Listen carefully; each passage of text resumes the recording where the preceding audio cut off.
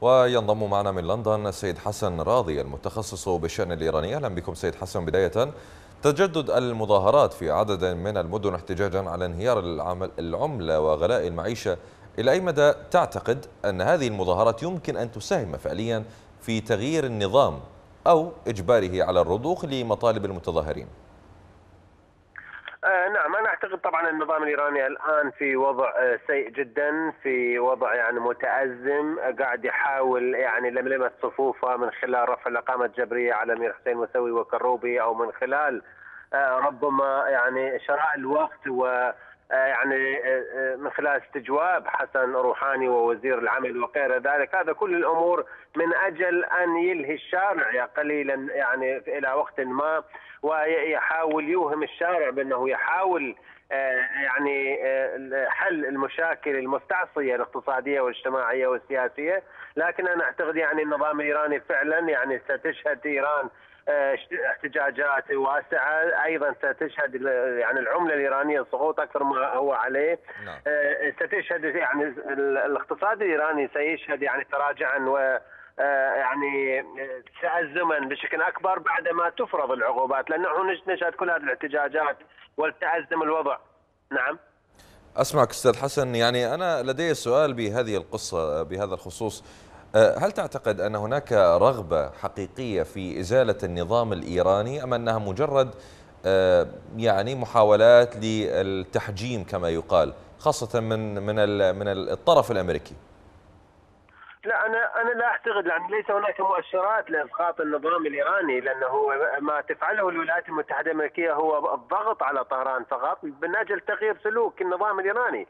هذا ما صرح به المسؤولين الإيرانيين الأمريكيين وهذا ما نراه عمليا في فرض عقوبات أو ما شابه ذلك. لكن أنا أعتقد يعني حتى يعني الولايات المتحدة الأمريكية ليس الآن لم تختار بديلا ولا تدعم أي معارضة بشكل ملموس حتى تكون بديل للنظام الإيراني وكل ما تفعله الولايات المتحدة الأمريكية هو لتغيير السلوك النظامي الإيراني ولا لا يتجاوز هذا الأمر.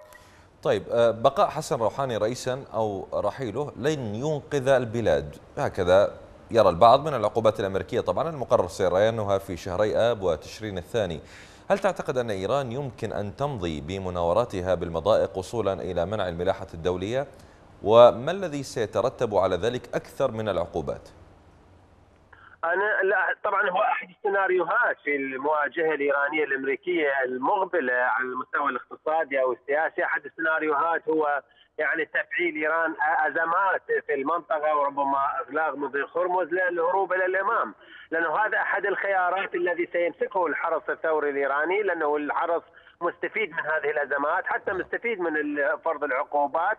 لكن أنا أعتقد يعني المرشد الإيراني في النهاية سيتخذ القرار هو القرار الصائب لأنه كل هذه الأمور إذا لم تتحاور لم تتفاوض ايران مع الولايات المتحدة الأمريكية سيؤدي الأمور الاحتجاجات الداخلية والعقوبات الخارجية ستؤدي. إلى انهيار النظام الإيراني واسقاطه بالتالي وأنا اعتقد النظام الإيراني سوف يتراجع كثيرا وسوف يقبل بالشروط الأمريكية حتى ينقذ نفسه من السقوط وإلا في كل الحالات في حالة بقاء إيران بهذه الحالة نعم. يعني الهروب إلى الامام بالتالي سيضغط النظام الإيراني وهذا ما يعيه المسؤولين الإيرانيين. سيد حسن بالعقوبات التي فرضت على إيران بفترة أوباما آه، كان العراق بحكوماته المتعاقبة بعد الاحتلال هو الطرف المنقذ لإيران بالتهريب العملة وتهريب النفط وما إلى ذلك.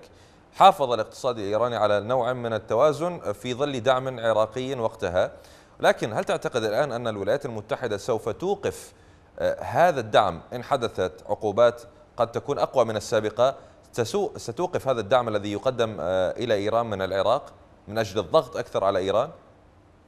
أنا أعتقد يعني كذلك يعني الإدارة آه، الإدارة الجديدة إدارة ترامب الآن هي جادة في الضغط على طهران جادة في فرض عقوبات وكما وصفتها الولايات المتحدة الأمريكية هي أقصى عقوبات وأقوى عقوبات عبر التاريخ آه، لذلك أنا أعتقد ستغلق الولايات المتحدة كل الابواب أو كل النوافذ التي ممكن أن تتنفس منها إيران وتتحايل على العقوبات، هناك تجربة اصبحت عند الولايات المتحدة الأمريكية في طريقة التعامل مع إيران والعقوبات عليها، هذا من جهة، من جهة أخرى أنا أعتقد الآن الوضع الاقتصادي الإيراني متردي ومتازم أكثر ما كان عليه في فترة أوباما الآن الاحتجاجات الآن سقوط العملة الآن يعني الغلاء البطالة أزمة الكهرباء أزمة المياه أزمة البيئة كل هذه الأزمات يعني تؤدي يعني بالشارع الإيراني ان يوسع من احتجاجاته وأيضا العقوبات النظام الإيراني الآن لا يستطيع تحمل العقوبات نعم. الظروف تغيرت الآن إيران في عزله أكبر مما كان عليه اقليميا ودوليا لذلك أنا أعتقد العقوبات الآن ستكون مؤثرة وبالتالي يعني يتجاوب النظام الإيراني معها ومع المطالب الأمريكية. في سؤالي الأخير لحضرتك أستاذ حسن، إيران داعمة للاستراتيجية الأمريكية، مساعدة لها فيما تفعل.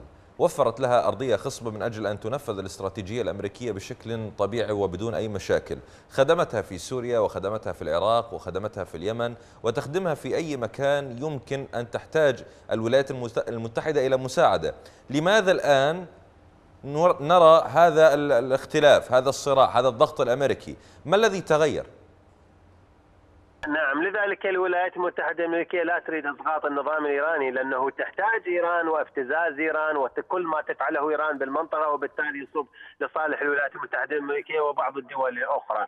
لذلك دادات أوباما تريد يعني عقد صفقات تدر للولايات المتحدة الأمريكية المليارات الدولارات. هذا من جهة وبالتالي سيكون تحت يعني المظلة الأمريكية وليس تحت المظلة الروسية كما هو عليه اليوم، لذلك اداه أوباما تضغط على هذا لتعديل سلوكه وليس لإسقاطه، آه، وبالتالي أنا أعتقد إيران هو محمية من قبل بعض الدول الكبرى. حتى يستمر بدوره السلبي في المنطقة وبالتالي هذا الدور هو يصب للدول الكبرى لصالح الدول الكبرى آه، التي ترعى إيران وتدافع عنه خلال السنوات الماضية وأيضا حتى أعتقد في العقد المقبل. من لندن السيد حسن راضي المتخصص بالشأن الإيراني شكرا جزيلا لك.